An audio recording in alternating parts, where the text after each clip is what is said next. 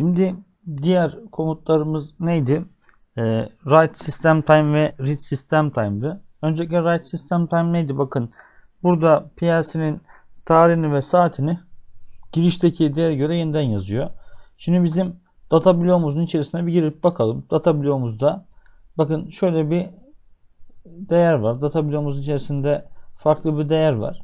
Şimdi arkadaşlar bu data bloğun değerini e, bizim data bloğumuzun içindeki değeri e, götürüp bakın data bloğun içerisindeki değeri götürüp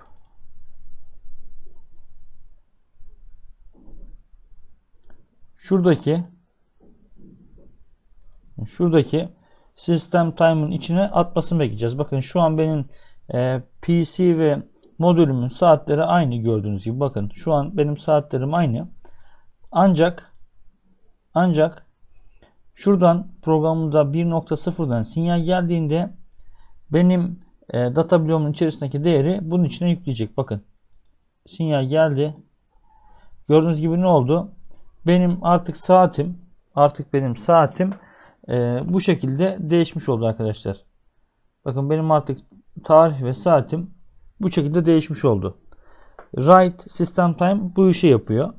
Benim e, sistemimin saatini bu şekilde değiştiriyor. Şimdi Read System Time'a bakalım. Şunu deaktif edelim. Burada bu anlaşılmıştır.